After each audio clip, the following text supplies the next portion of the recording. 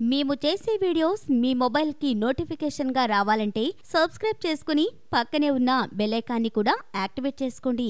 చేదుగా ఉంటుందన్న కారణంగా చాలామంది కాకరకాయను ఇష్టపడరు. చేదుగా ఉన్న ఇందులో అద్భుతమైన ఆరోగ్య ప్రయోజనాలు ఉంటాయి.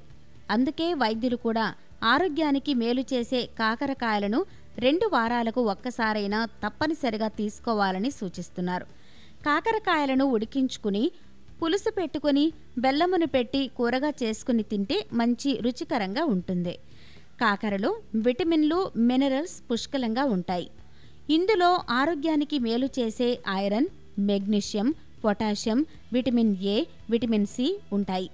కాకరతో జలుబు దగ్గు ఆస్తమా వంటి శ్వాస సంబంధిత సమస్యలకు నివారణ లభిస్తుంది.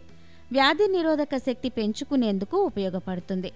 చర్మ సంబంధిత సమస్యలకు కాకర చక్కగా పనిచేస్తుంది.